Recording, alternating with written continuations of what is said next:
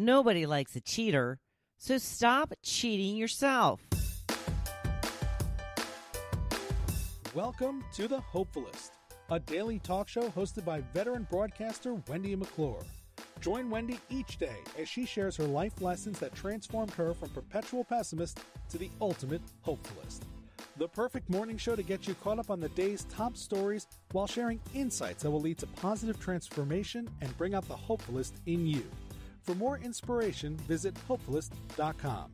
And now, here's your host and hopefulist, Wendy McClure. Hello, and thank you for joining me today on The Hopefulist. It's your daily dose of inspiration and positivity. Today's quote of the day comes from Emily Bronte. Every leaf speaks bliss to me, fluttering from the autumn tree. It's time to shed our leaves. It's time to get rid of the old and prepare for the new. Change is not always bad. Change can sometimes be very good. I just saw something recently. I think I uh, saved it as a picture about the the trees are ready to shed their leaves, and yet they are not afraid at all. I thought that was very good. I was taking a quick glance at my pictures to see if I have that actual direct quote, but it does not appear that I saved it. Boo me, boo! But it, that was the gist of it. Was basically, um, the trees are still standing tall as they ready to shed their leaves and are not afraid in the least because they have faith in the fact that they will be back come springtime. I do love fall. It's a wonderful time of year. I had the chance to meet up with some of my girls in the neighborhood last night at the Bay Beach. We sat around, we chatted, we watched the sunset and the moon rise over the beach. It is a direct full moon tonight. Explain some of the higher tides that we've been having here in the hood. It was a beautiful sight. Where we sit on the Bay Beach has a direct view of the bridge to LBI, and the moon literally came up over the bridge, and at one point looked like it was sitting on the bridge. Now, the picture that I posted today is a picture of that. It is difficult to see the moon in that picture unless you are looking for it. So look closely over the bridge and you will see the moon just sitting on top of it. It's a pretty cool picture. Wish I would have taken my real camera. I've gotten this real camera and I haven't really messed with it since I came back from Colorado. I haven't even transferred those pictures. Yeah, again, my uh, not know how at working things is standing in my way. I'm letting it stop me. But I know that the next time I go to a beachy area, I will definitely be playing with it and figuring it out as I want to get some really, really cool night shots. And I probably should mess with it today, too, because, like I said, it's going to be a full moon tonight. And uh, not only is it full, but it seems very close. Big moon last night, very big. And then I saw it this morning. Walked out the house about 4:15 like usual. Bam, there it is, right out my front door. Well, hello, moon. yes. I did say hello, moon in my head. The topic for today, we're talking about apples. You know, it's fall. Hello, fall. Caramel or candied apple? That is what I wanted to hear from you. Now, I don't recall having many caramel apples as a kid. I re- always remember the red candied apple. You know, the really hard, crunchy stuff that, you know, your teeth would fall out while you were eating it, but oh, so worth it. I don't really see them much anymore. I think that I would prefer them over a caramel apple. Now, that being said, my sister in law, and I don't know I don't know the name of it. Harry and David. I don't know something fancy. She has gotten us for Christmas a couple of years, and it's a caramel apple, and it's got all kinds of little accoutrements on it, like um, candy, tiny little peanut butter chips, hard candies. Oh, they're to die for. They are just to die for. I'm going to have to look into those again. Carolyn says chocolate. I did not know that there was a version of apple covered in chocolate. I have never seen that. I have never seen a chocolate covered apple. I I guess they exist. Connie says I used to get the candy, the red candy apple on the boardwalk. Eleanor says caramel candy was always too hard on the teeth. Yes, it was hard on the teeth, but oh so worth it if you got to keep them.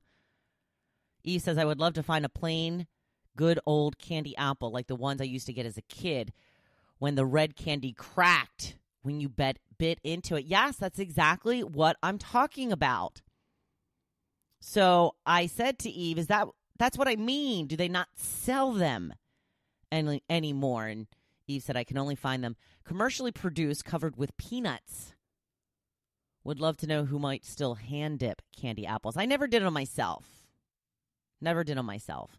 Joanne says caramel. Marcy says caramel if I have to choose. Uh, Nancy says both.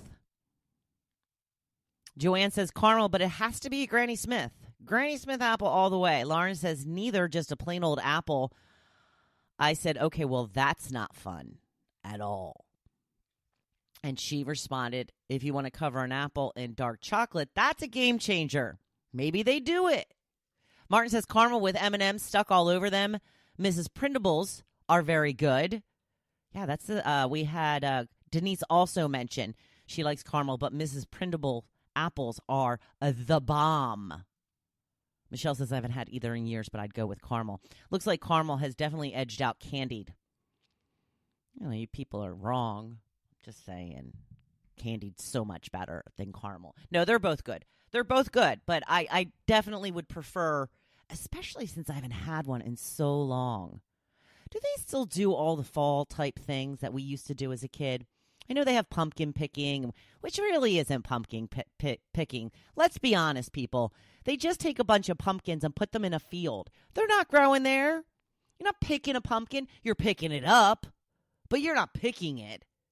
I mean, come on. But remember, we used to bob for apples and yeah, I don't remember the last time I saw anybody bob for apples. Man, that was hard. How hard was it to bob for apples? I used to, and I guess maybe it was considered cheating. I would try to get the stem on top. And then I think I would be told, nope, that's not the way you do it. You have to get your, you know, you have to get your teeth into it.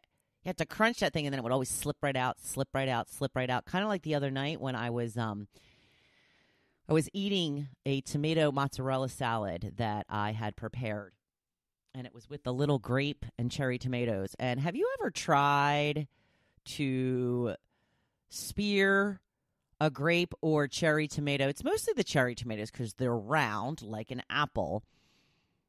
That's not in a bowl. That has nothing else to go hold up against. Just try and spear it without it rolling all over the plate. It's very difficult. Very difficult. I know. First world problems, people. First world problems. So, today's blog post, we're talking about um, cheating yourself. Yeah, don't do it. Give it your all. Otherwise, you are only cheating yourself. So often we do things half heartedly. We convince ourselves that it is better than nothing. It's better to do something than to not even try. This is true. But, but, if you are going to do something, do it right. If you don't give it your all, you will not see the benefits and results you are ultimately searching for. A couple of years ago, I was on the Weight Watchers program, which assigned points to the food you ate, and you only got a certain number of points per day. It wasn't a ton. I think I got 26 points a day. One day at work, I was desperately searching for how many points a Cadbury cream egg would be. Uh, I found a number of results that said it would be five points, but I did see one that claimed it was only four points. A guy I worked with said, There you go, only four points. seemed pretty clear to me that it was really five points. And if I counted it as four, then I would be the one going a point over every time I ate one. And I told him, you know, I'm only going to be cheating myself if I count it as four points. Yes, I could have gone the route that would have given me more of that creamy goodness. But I would know why the number on the scale didn't move either. The thing that is most concerning is people encourage you, like my coworker, to cheat yourself. I don't think they mean any harm, but it's not the type of encouragement you need when you are doing hard things like not eating the Cadbury cream egg. It's the same when you're working out. Give it your all. Don't short yourself. If you do, it will take that much longer to see results. I know working out can be hard. I know how difficult those last couple of reps can be. But it's supposed to be hard. If you aren't challenging yourself, you aren't making progress. Yes, it is better than not working out at all. But as long as you are in the midst of the sweat, go all the way. Make it work for you. There are times that I want to skip a set. There are times that I want to take just a few minutes off my cardio to give myself a break. Here's a warning for you listen closely. Once you start doing this, it becomes easier and easier to shorten your workout. Yes, it's like one of those things that once you start, it's hard to stop. Well, I stopped a little early yesterday, so I can stop a little early again today. Instead of shorting yourself, why don't you try doing one more than you are supposed to? Just one more squat, one more curl, lunge, arm raise, or one more minute of cardio. How awesome will you feel about yourself for doing one more instead of skipping a couple at the end? The first time I tried to keep a gratitude journal, I didn't take it seriously. I would try to remember to do it at night, but my heart wasn't in it.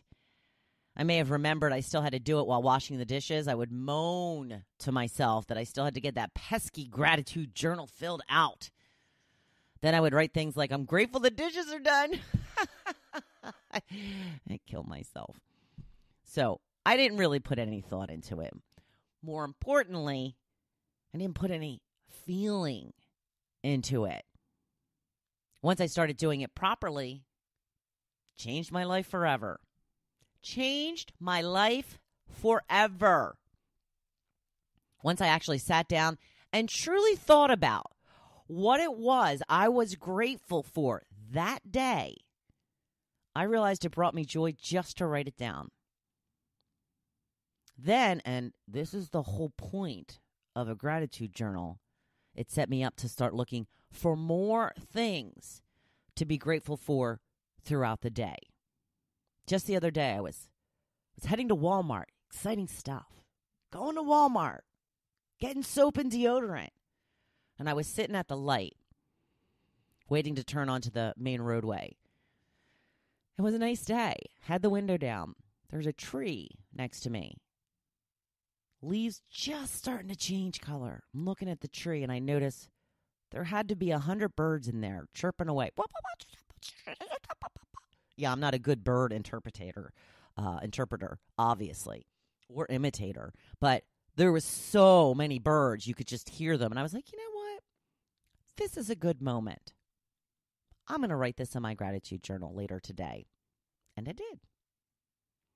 So give it your all. Or sometimes, in this case, it's not worth doing at all. The next time you think about shorting yourself on something, remember you are only cheating yourself. No one likes to be cheated on. So why would you do it so willingly to yourself? Don't stop. Break the cycle. Be true to your word and true to yourself. You are the only person you can truly count on to not let yourself down. So don't in any aspect of your life. Go throughout the day today and notice what you are doing half heartedly. Can you just try to give it your all? I am pretty sure you are going to feel better about yourself and you will likely see better results as well. Now go on out there and be the badass I know you are. I'm cheering you on. Thank you for listening to The Hopefulist, hosted by Wendy McClure. For more inspiration, please visit hopefulist.com. Thanks, and we'll see you tomorrow on The Hopefulist. Once a cheater, always a cheater. Does anybody remember what that's from?